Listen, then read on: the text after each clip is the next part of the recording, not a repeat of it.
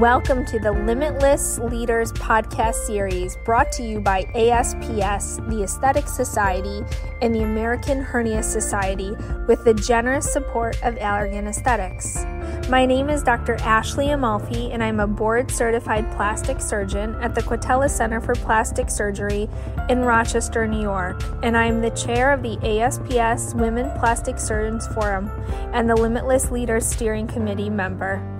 Please join us for the Limitless Leaders podcast, where we dive into the stories of extraordinary women making a significant impact in our field, as well as the men who are supporting them to get there. We are breaking gender barriers and inspiring the next generation of leaders. You're listening to the Limitless Leaders podcast series brought to you by ASPS, the Aesthetic Society, and the American Hernia Society with generous support from Allergan Aesthetics. I'm Dr. Jana Sacco, a general and abdominal wall surgeon at the University of Florida in Jacksonville. I'd like to welcome Drs. Kanth, Steinberg, and Vastine. If you guys can each introduce yourselves to our listeners. My name is Aditi Kanth. Um, I am a, a board certified plastic surgeon and a fellowship trained craniofacial surgeon. I work at Rutgers in New Jersey. And uh, I just really find the topic of imposter syndrome uh, fascinating. I love to talk about it. And so, um, thank you so much for uh, giving me the opportunity today. I'm Victoria Vastine. I am board certified in general surgery as well as plastic surgery.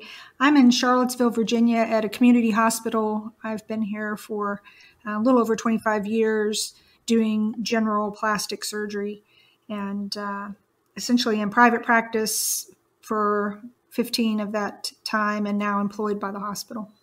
And I am Ashley Steinberg, and I am a also board certified in general and plastic surgery in Houston, Texas, private practice. I've been out of uh, residency for a, a little over four years in private practice. Awesome. Well, thank you guys all so much for being here. I'm really excited about this topic. Um, I am just over a year, a year and three days um, mm-hmm. out from fellowship and starting my first job. So, imposter syndrome is something that I have definitely experienced, and I'm really um, interested in our conversation to talk about. Um, and I think it's been in a lot of topics, especially lately, and we kind of know that women are more susceptible to imposter syndrome. But why do you think that that is? Do you guys have any ideas of um, why we think we're more susceptible and kind of um, start with that? I, would like to comment on that, uh, if you don't mind, partly because uh, the reason I want to comment is that I have had uh, an interesting sort of evolution of my imposter syndrome and I felt like it was actually getting worse in some situations, which surprised me because, you know, I'm not right out of residency. I'm not um, sort of low on the totem pole from a job standpoint or anything like that. Uh, but I heard a uh, commencement speech done by Reshma Saujani, and I don't know if you know who she is, but she's the founder of the nonprofit Girls Who Code and she's also an attorney and a politician, but she gave a commencement speech uh, May of 2023 for Smith College. And a good bit of the speech was about imposter syndrome. And from her perspective, and I think this is a little bit um, evolving as well, that imposter syndrome is not your personal failing yes, you're more susceptible if you're a perfectionist, if you're already in a disadvantaged position in your life or in your career. So for us, that's women in a male dominated world. But she said it really is the result of the people in power around you. They make you feel that way. That's how they have power over you. And I found that to be fascinating because I do feel like my imposter syndrome is worse in certain situations. I had a very supportive mom, single mom. I did really well in school, had no question about that. Did really well in medical school, had no problems with that. Did uh, my clinicals in medical school in a program that encouraged me to do surgery. Did my general surgery in a very competitive but encouraging environment. And it wasn't until I actually got into my plastics fellowship that I really started to feel like I was the imposter, even though I was the best trained resident at the time. So there was no reason for me to feel that way other than the people around me. So, you know, I really feel like you may be predisposed to it by your personality or something like that. But I think imposter syndrome really is the way they want you to feel. you know, you're the junior, you're the best, you know, the least trained, you know, things like that. I, and I really feel like once I heard that and started to say, you know what, that's right. So I'm not going to give them that power. I started to feel a little bit better because before I was trying to figure out what I was doing wrong psychologically that this was getting worse. I totally agree with that, all of that. Um, an interesting thing that uh, I read in a paper about imposter syndrome that really kind of um, hit the nail on the head is that even though imposter syndrome affects the individual, no individual lives in a vacuum. We are all impacted by um, by our environment, and um, I firmly believe and agree that like uh, I want to validate uh, you and pretty much any other woman out there who is experiencing it that you're not crazy. It's probably not you. You may just be reacting appropriately to um, the stimuli around you. Um, so, like, for example, um, in asking uh, the question, like, why women in general.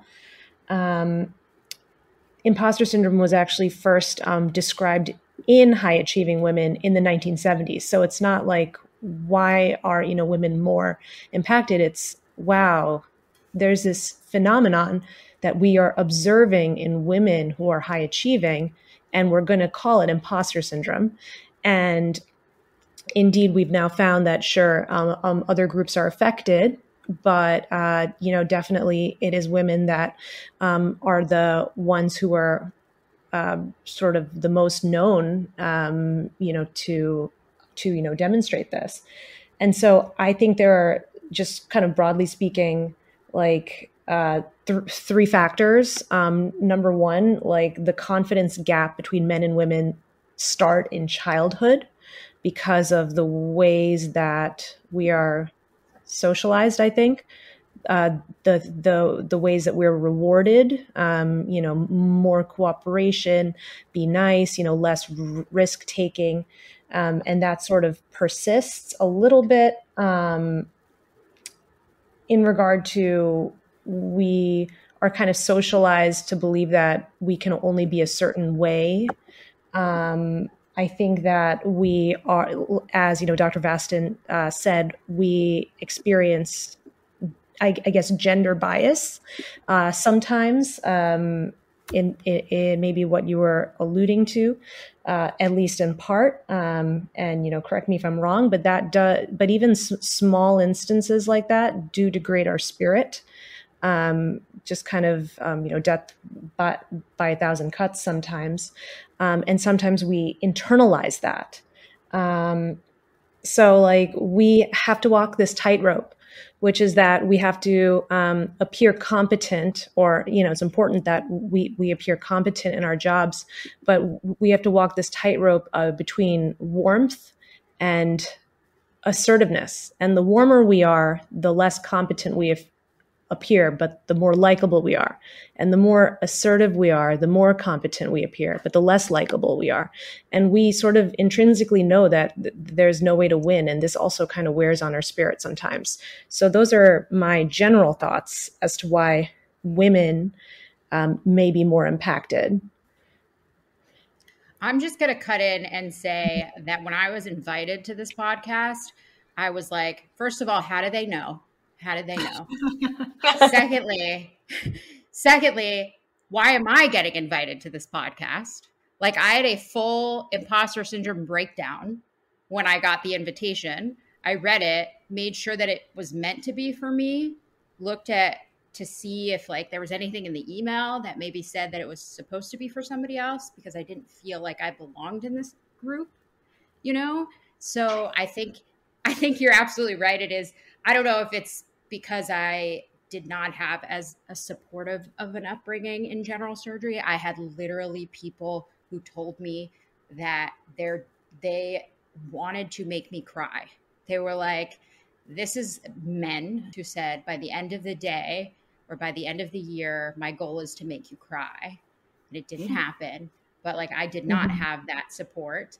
Um, I also I went personally. I went to a Caribbean medical school. Um, I went to undergrad in Canada at very very small school, and I had a lot of people. And this goes back to Dr. Vastine's point: is I had a lot of people telling me that it wasn't going to happen for me um, from the start. So I think that I personally hold on to that as much as I don't want to. And I try and tell myself, you know, I trained with the same people, I took the same tests, I'm doing all the same things. Like my Google reviews are not fake and my results are not fake. And the things I'm doing are not fake. It's I have to tell myself that constantly. But, you know, in listening to both of you, I really am resonating with a lot of the things that you say. And I think that looking back, it was, I had personally, you know, from medical school, from the start of clinicals, I was literally told by the head of clinical rotations, he said, This is the entire group of med students. You guys go to St. George. This is a Caribbean school. None of you guys are going to be plastic surgeons unless your dad is the program director. And I took it as a challenge, but I'll never forget that. And throughout the years of me doing this five years of general surgery, th- three years of plastic surgery I've had little digs, whether it's the fact that I went to my first three years in general surgery were at a program that weren't that great, but I transferred to a better one, or that you know somebody finds out I went to a Caribbean med school and they make a comment about it. It still constantly is happening, even mm-hmm. to this day, where I have my own you know, practice. And I've, you know, I graduated next to people who went to Baylor and Princeton, etc. So I, I really think that I'm glad that I really listened to that because I think that that is really determining my imposter syndrome. Even though I'm aware of it, I'm not sure it's going to make a difference going forward. I think it absolutely makes a difference right? I think the main thing here and why I think this conversation is so important is understanding it. Um, because, like, I really want to go back to actually what Dr. Vastine said earlier is having imposter syndrome or feeling that way is not a failure. And I, mm-hmm. I personally forget that often. Um, I went to Caribbean medical school too. When I told them I was applying to surgery, they said, no, you're not. You can apply if you want, but you have to apply to family medicine as a backup. Mm-hmm. And I said, you should figure out how to go into my ERAS and do that because I'm not doing that. um, and you know, you constantly have have people telling you no. Um, you know, and when people tell you no, I personally have the personality like it sounds like you do, where I'm going to say, "Let me show you how." Um, and I think we have to have that to get where we need to go. But you're right; it kind of never stops, and I think it's I don't know if it's disheartening or it's good to hear Dr. Vastine so far along in her career tell us that she's still having it. Um, a little bit disheartening, but also great to hear, you know, how she's overcome it so many times. And, you know, I'm sure all of you, um, you know, are more senior than me and have some, um, I think, advice for our for our listeners and for our colleagues on, you know, it's not a failure. We need to just recognize it. We need to talk about it and how can we handle it? Yeah, um, I would say that its its biggest problem is that like you can't seem to internalize um, you can't seem to internalize any evidence that you're actually doing a good job um, you know when you're in the throes of it. So you you you can always find an excuse as to why you know that was just because of luck or oh you know that was a fluke. Um, and and so that's like the hardest part of it to overcome when you're kind of in the middle of it and um, at, at, least for me um, it was really important to identify people who believed in me even when I didn't kind of yet believe in myself, you know, uh, others who I respected who saw my potential, that was um, really helpful to me. Um, and I think that programs like Limitless, WPS, um, this podcast in particular, are really important because a lot of people sit there feeling like they're the only ones that feel this way that they don't have what it takes to get up at the podium or they don't have what it takes to be a leader. And you know i will say that my residency for plastics was where a lot of my negativity came in to play then I started my own practice. It was successful. I was doing really well, but I kind of lived in isolation. So I never really felt like I was doing as well as I should have been. For example, I failed my oral boards for plastics the first time, which was 100% a confidence problem. It had nothing to do with my, you know, my skills or my clinical judgment or any of that stuff. It was I got into the orals and panicked that I wasn't qualified to be there. So, you know, I and I actually got past that one by going into my second time, nine months pregnant, saying, I dare them to fail me. and they didn't, but they did fail someone just as pregnant. So I feel, you know, but I had such a confidence boost going, probably because of the testosterone I, from my son. But I just was like, come on, bring it on, baby. I'm ready this time. And it really made a huge difference. I think that's why it's so important to have mentors, to have a group of people that you can reach out to and talk to your fears about. Run cases by them because you feel like you've got to be the only one thinking about doing this you know, and having people say, no, I don't think that's a good idea, or you are right on track. You just keep doing what you're doing. Um, I just think it's super important. And I think that's why having people you can turn to and ask questions of is so important because that's how you get past it. You have someone saying, no, you're doing great. Keep going. I think that that's definitely something meaningful. And that is why I stayed in Houston in particular because I thought of I'm not from here at all and I have all of these people that I trained with. I needed this to continue. I thought I needed it to be successful in private practice that I had these people who knew what I could do. I trained with many surgeons in the medical center throughout almost every hospital system and I felt like I needed that security blanket of having those people there and going to them and talking to them just to maintain. But um, have have any of you guys listened to the podcast Doctor Death that came out in like 2019 or 2018? Oh my gosh! So um, I have to be honest. I have really avoided it because okay. I feel like a person with imposter syndrome's worst nightmare is watching that. You are right. You are right. So I graduated in 2019. I went on this amazing trip to Europe. I had the best time of my life. I started practice in August of 2019. Um, I started listening to that podcast like in September, August, September, and I, I didn't, I'd never watched the the movie or whatever, but I listened to the podcast, and it, I think, put my imposter syndrome into overdrive because it's real. Like that person was real. That stuff really happened. So it made me believe that there are people out there who maybe don't know or aren't great. It's very hard to fire a resident, right? It's very hard to fire a resident. It's very hard to fire a fellow. ACGME makes it very difficult. So there are people out there who are doing a bad job and don't know it or do know it or doing horrible things and and I was listening to this podcast and I was calling my mom.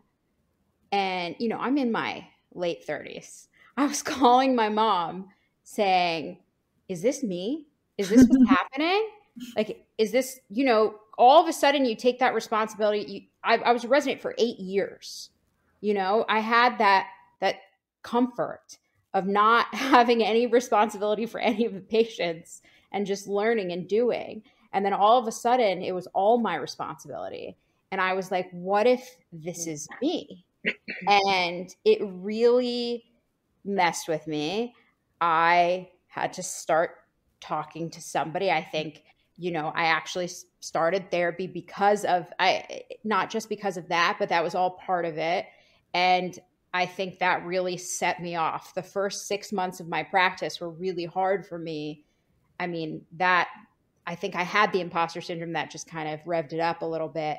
But um and then COVID happened, so life was just very, very weird. And I was trying to collect boards, and I was like, "Well, I guess I just got to do what I got to do." Um, but that is really what ramped it up for me. And I agree with you. Uh, don't listen or watch it because it will absolutely. I mean, I'd be okay with it now. So, Dr. Steinberg, I think you brought up an important point um, that I kind of want to talk about as far as trainees go. So, obviously, as I mentioned, I haven't been out very long, and the imposter syndrome hit pretty hard when you first start, as I think maybe it's not even imposter syndrome. Maybe that's just normal when you mm-hmm. start.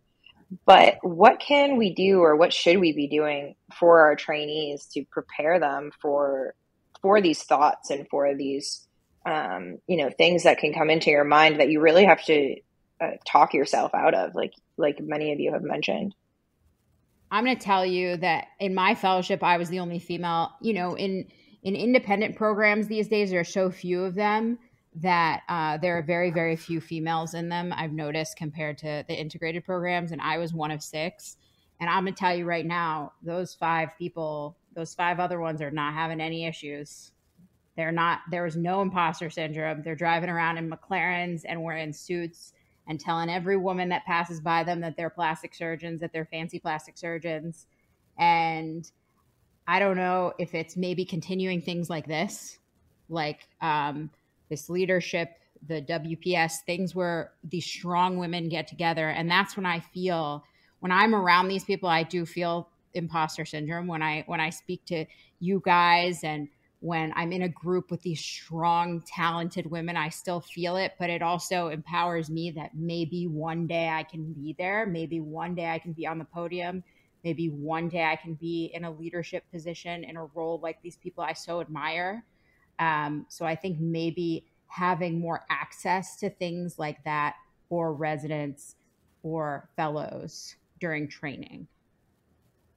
Well, WPS has been encouraging and sponsoring women residents to come to the women's retreat and also sponsoring them to come to um, the national meeting for the very purpose of getting them hooked into sort of a network.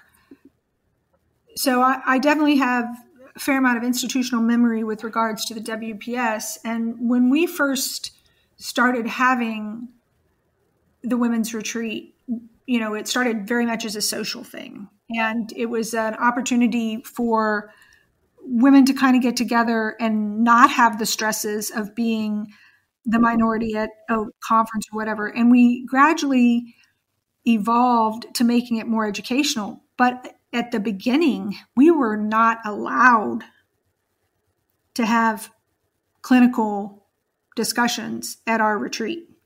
We were not to compete with any learning opportunities that the, the other meetings had. So it took us a long time to get permission to do sort of tips and tricks and pearls and problems kind of starting. And I tell you, that was really helpful for a lot of people. Just getting up and talking about a problem they had and how they handled it and listening to all these women say, wow, that's a really neat trick or that's pretty cool. You know, how many cases like that have you done? And then you start to realize you have just as much experience as the guys that stand up at the podium and put on table results as their final results. you know, so um, I really do feel like that's one way is, and I used to go to the women's surgery group at the university where I am. That was a general surgery program. You know, they would invite me to come and talk to them because there were no other women plastic surgeons in town. So I had no peer group here.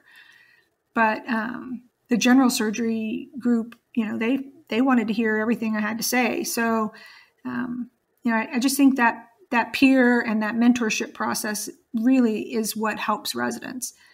Because if you compare yourself to the average overly cocky male counterpart, and I'm I'm not saying that all males are overly cocky, but I will say that that's who tends to breed imposter syndrome in the women. You know, it's hard for you to think that you are worth it. I mean, you're looking at these people going, wow, I am not that confident that the decision I just made is the right one. Yet he's tripping over himself doing stupid stuff and saying, Isn't it beautiful? You know? I've had those same men, by the way, actually say, How dare women have their own meeting, have their own, you know, we know how we have our own setup at ASPS and the aesthetic meeting, we have our own little women's um, area.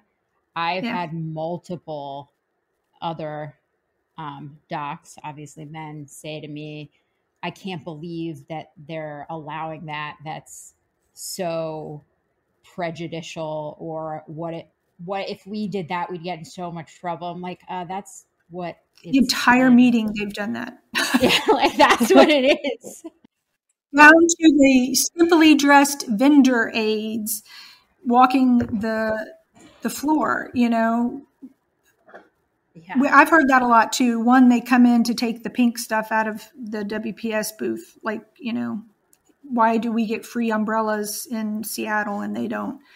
And I and they've said that, and I've just said, look around. This entire place is yours. We just want a little bitty booth where we can sit here and have a cup of coffee or a coke and talk to each other. I did suffer from imposter syndrome when I, I first started my plastic surgery residency. Um, and sure, my confidence grew, um, you know, through the years. Uh, but I still kind of felt like I didn't internalize it as much as you know some of my peers, particularly my my male peers, and um, I and the thing that really helped me like feel like i was part of this plastic surgery um, you know community this greater community where um, i would go to meetings but uh, i i never thought that i would really be quote unquote you know one of them was you know the WPS. Uh, I joined in my fellowship year, and um, I was given opportunities, you know, maybe to give a talk here or there, to which my response was, "Who me? Like who the heck am I?" But um, you know, I was I, I was bold and I took the opportunities, and you know, sometimes. Uh, it, it went well and and my confidence really grew from that so i really do credit you know the wps and and this sort of um, mentorship that you get through there just uh, as a big part of my growth professionally. So um, I want to echo what the others have said in that regard. I do just want to uh, answer the original question quickly about how do we help people going forward. I've thought about this a lot and I think in addition to, you know, continuing um, you know, mentorship and the WPS because that's huge. But like on a small scale, if you work with trainees or students at all, just being aware that, you know, this happens, it happens often. Um, and uh, just being open about it and kind of most importantly, not, not, um, penalizing them for not being confident because sometimes people, you know, mistake uh, a lack of confidence for a lack of competence. And that's the problem that we face as women. Uh, if we're not feeling extremely confident about something, then you know people will think that we don't know the answer or know anything. For example, um, but that's not necessarily true. You know, there are many reasons why we might not be confident about an answer. So, like us knowing that about a trainee or a student, um, and then just kind of, kind of looking into their answer a little bit more, maybe helping them, um, uh, helping them realize that they do know more than they think. I think that that would go a long way. That's a really good point.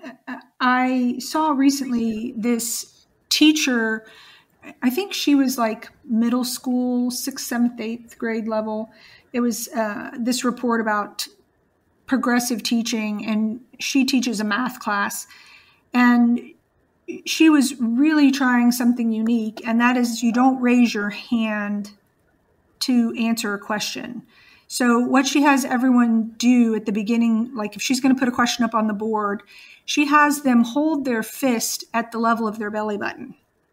And if they want to contribute to the answer, they put their thumb up. So, no one else in the room can see that their thumb is up. And it does two things. One, it encourages people to put their thumb up when they might have been hesitant to put their hand up. And two, it doesn't shut down the conversation because when people put their hands up, people stop putting their hands up. Somebody's already going to answer the question. But if they put their thumb up and nobody knows whose thumbs are up, then she can go around the room and call on people and ask them what they want to add. And as it turns out, more people contribute. The topic gets developed in a more broad fashion than simply simply giving the quote right answer. Mm-hmm. And it engages more people, and then those people begin to have more confidence in their ability to participate in the conversation. And what you were saying around the OR table or in the clinic and things like that is exactly that. You're encouraging them to continue to participate in the conversation. And sometimes a small win can lead to more confidence, which leads to larger wins. If it's an unsafe environment for a person to take a chance, then they're not going to take the chance and they're not going to um, ever know their abilities. Yeah, I completely agree. I think that the ability for us to be vulnerable and show that, you know, just even with this conversation, obviously, um, that we're all going through this and that it's normal. And to show that to the trainees, I think, um, you know, it's something I try to be very open with, especially with my chiefs when I'm, you know, barely a year ahead of them. Um, and I'm like, I may not be able to let you do this whole case because I still need some control in the OR. But hopefully, I can, you know, be vulnerable with them and talk about these things and the transitions. And I think allowing them to feel like it's a safe space to talk about. Because I know, you know, when I was a trainee, a lot of the time it was like, do you have the answer? If you like have an answer, even if it's wrong, just say something. And probably saying the wrong thing isn't great. Yes, we all have to make decisions. We're surgeons, but like you said, um, I think encouraging people to have those small wins um, really give them the confidence to have bigger wins later, like you said. And most often, there isn't just one answer. And mm-hmm. and I think also the opposite of what you're saying is when when there is a wrong answer, not making someone feel like lesser or lower, you know, because of it really taking that opportunity to teach and see if your teaching and your time can potentially help that person as opposed to you know just kind of reinforcing that feeling. So are there any other um, topics that you all want to touch on as far as imposter syndrome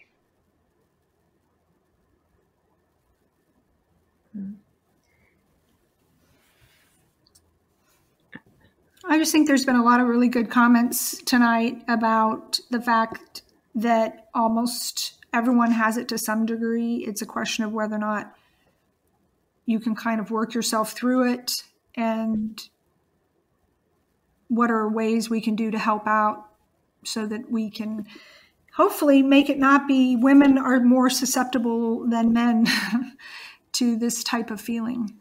Although I will say that in general, I do think women are are more concerned, and I don't don't necessarily think it's a gender, maybe a cultural thing, but I do think it's within our genetic makeup to be more concerned about how we fit into our societies and how we care for our family and our societies.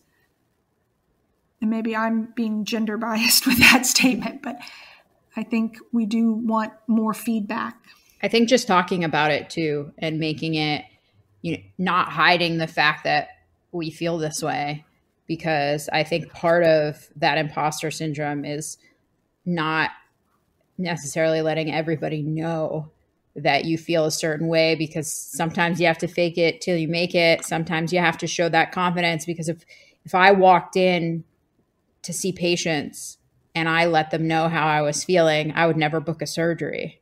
I'd never book a case. I wouldn't pay my bills, right? So I think you, we're so used to kind of pushing that down and dealing with it ourselves and internalizing it.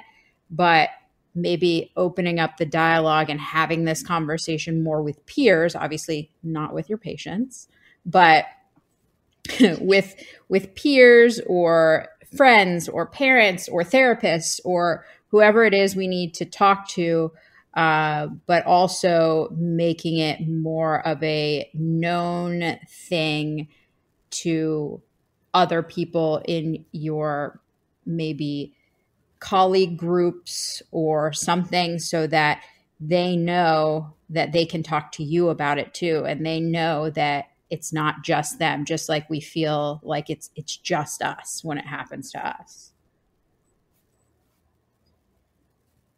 yeah i, I think it's really important that we um you know take away the the shame that that you you, you might feel about it like i i certainly did. Um because it is extremely common and probably you're not the only one in the room who has it on any given day right? And then um, I, I, also really think it's important um, you know as i mentioned to to surround yourself with people who believe in you not like exclusively but at least like a couple. And then also be kind of mindful about the things that did go right you know maybe reflect on it and think like you know what are my contributions to it going right? Like you know make an effort to internalize it a little bit. Like uh, don't ascribe every uh, every good thing that happens to you to luck because you know chances are you're you're working really hard you're learning a lot and um, and it is a result of your ability um, you know your intrinsic ability. And so you have to internalize that. It's important to remain humble because that keeps you growing.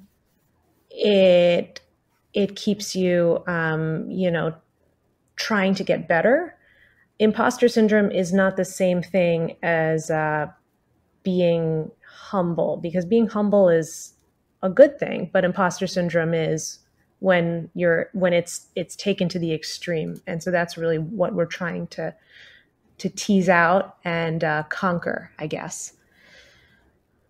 Yeah absolutely. I agree with everything that you said. I think it's really important that we kind of stop and you know one technique that i've tried to use myself is where i just kind of what you just said really where you stop and you think well okay am i credentialed for the to give this talk at this meeting and you look back well, yes, I did this fellowship and I've done these things and I gave this talk at another meeting and this person put me up for this because they they believe in me and these are the credentials that are real and kind of mm-hmm. take that negative doubt out of our out of our minds and i think that having a support system like you all i think have mentioned is probably one of the the most important things. Having mentors and sponsors and family and friends and colleagues who we can talk to about this and you know who can remind us like how great we really are doing because we are all doing great. And i think that's just the most important thing that we are all really lucky to have and need to continue to surround ourselves with those types of people i also think it's important to like also at least acknowledge to yourself if there is an intrin sorry an extrinsic factor that's you know contributing to it.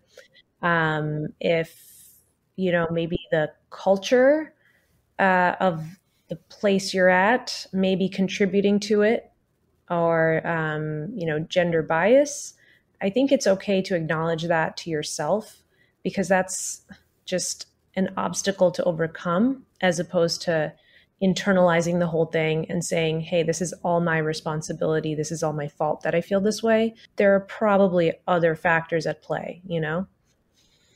Yeah, I think that's um, a really good point, and I kind of want to jump off on that because it's almost easy for us to all talk about this, right? We're all being very supportive of each other. We're all sharing our experiences. Um, but what advice can you give people who are maybe in a setting where you know they don't feel that way? um, or they, you know, have microaggressions or some gender bias um, happening in their institution or in their practice. Find one of us. yeah, like make make those connections. The the thing that I did that was most helpful for me is I went to every meeting when I was a resident. Um, when I was an attending in my first year, I paid the money that was hard to pay to go to the aesthetic society you know when you have to when you're out that first year and you actually have to pay for the meeting you have to pay for getting there and everything i did it because i knew that this was my opportunity to meet the people that i could maybe have these conversations with that i could in addition to you know talking to them about surgery or problems i might have i could possibly talk to them about these things you know get close network find find your people and whether it's you know in town or yeah i think a lot of us can resonate with that. I mean i've really enjoyed i'm obviously a general surgeon and a lot of um, the people that are involved in the limitless leaders campaign are plastic surgeons and i've really loved getting to know all of you and um, kind of learning from the many differences that that kind of occur in plastic surgery i think from general surgery um, and you you all do really have a really i think close knit WPS, which is really awesome to hear about. Um, my first time at the Limitless Summit two years ago, and um, it was just so amazing to hear all the stories um, from the plastic surgeons and the diversity. I think is um, in practice is so much more than what we kind of have in general surgery. So it's really interesting to hear solo private practice, group private practice, academics, hospital groups. Um, and so I think going to these big meetings and um, you know, our like our meeting, like Limitless, um, just really allows you to build these connections that can be lasting for a really long time. I think the Association of Women Surgeons is also a good resource, but in some respects, their success has resulted in it being such a big group, it's sometimes hard to find those more personal connections, particularly if you're uh, introverted, which I am, and you don't know anyone as you go into a meeting or something like that, you kind of feel like you're just going to walk around the periphery. I will say that um, leadership training really helped me a lot in that because it, it taught me how to work a cold room and how to kind of get your courage up, how to look for a group that you have a better chance of approaching and getting into a conversation with. And little things like that that you don't really realize are super important if you are an introvert with imposter syndrome, because you do need to ha- kind of coach yourself through how to make those approaches, how to, you know, be the only one in the room you think that doesn't know anybody. Um, and hopefully, if you walk up to a group, they're going to welcome you. Uh, much more likely to be the case if a group of, of women surgeons, in my opinion, than nurses um, or male surgeons. But uh, I do think that just some training in it is important. Trying to, as you say, fake it till you make it, but with a little bit of science behind it. In regard to to I, I guess all aspects um, of your career, which I'm I'm still very early. I'm only in my second year, but it's really helped me out just to even if I don't know if um, something's if if you know something's going to go well, like a talk or something like that. I, I still try. I still you know put myself out there, um, and the same goes in regard to networking. I suppose, even though uh, that one is much more nerve wracking still. Um, but you have to just, I don't know, just try. Like, you know, what's the worst that can happen, right? Yeah, absolutely. I think it's where we build a lot of our relationships. And I, I agree. I think the smaller organizations are a little bit easier. Um, like AHS is a smaller kind of hernia family, um, not too many of us. So for me, I felt very accepted there very quickly. Um, but again, I think like you all said, we have to put ourselves out there and build those meaningful relationships so that we have some support um, when we are going through the bouts of imposter syndrome that I'm sure we will all continue to go through. All right. Well, I would like to thank our remarkable group of guest speakers. That this has been um, an amazing talk. Um, and I really want to thank you all for sharing your expertise on imposter syndrome and your own personal stories and words of wisdom. You've all been excellent guests. Thank you. Thank you for tuning in to another episode of the Limitless Leaders podcast series brought to you by ASPS, the Aesthetic Society, and the American Hernia Society with the generous support of Allergan Aesthetics. We hope you enjoyed our conversation today and gained valuable insights and inspiration from our guests. Please check out other episodes of your favorite podcast platform. You can download them directly from ASPS EdNet. Stay tuned for new seasons, exciting new episodes where we will continue to celebrate and empower women leaders in plastic surgery and in general surgery. Thank you.